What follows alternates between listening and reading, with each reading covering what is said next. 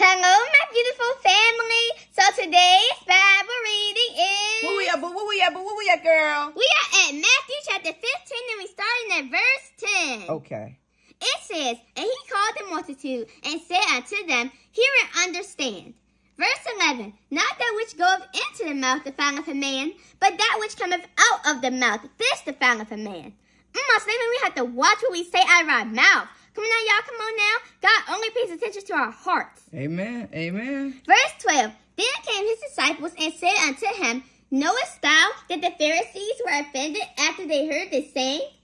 Verse 13, But he answered and said, Every plant which my heavenly Father hath not planted shall be rooted up.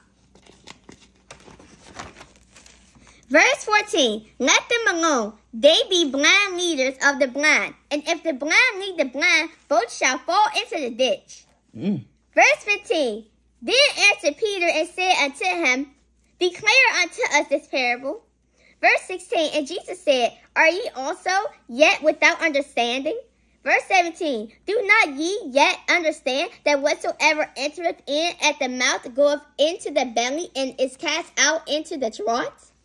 Verse 18, But those things which proceed out of the mouth come forth from the heart, and they defile the man. Verse 19, For out of the heart proceedeth evil thoughts, murders, adulteries, fornication, thefts, false witness, blasphemies. Verse 20, These are the things which defile a man. But to eat with unwashed hands defileth not a man. Mm. Verse 21, then Jesus went thence and departed into the coasts of Tyre and Sidon.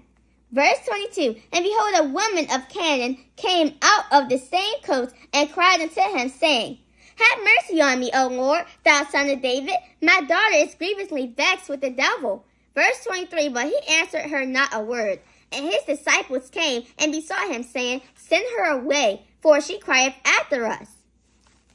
Verse 24, But he answered and said, I am not sent but unto the lost sheep of the house of Israel. So I just read Matthew chapter 15, verses 10 through 24. Woo!